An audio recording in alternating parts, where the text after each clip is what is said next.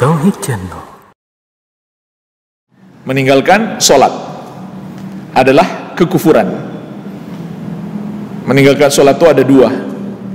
Pertama orang yang meninggalkan sholat karena tidak setuju dengan syariat sholat atau dia benci terhadap syariat sholat maka ini ulama sepakat dia kafir. Tidak ada perbedaan pendapat yang kedua meninggalkan sholat hanya karena malas hanya karena malas maka ada perbedaan pendapat ulama pendapat yang kuat insya Allah hukumnya sama tetap kafir murtad karena dalilnya bersifat umum.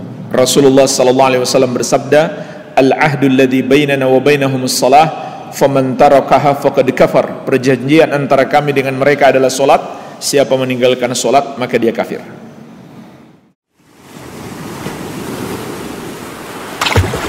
Tauhid Channel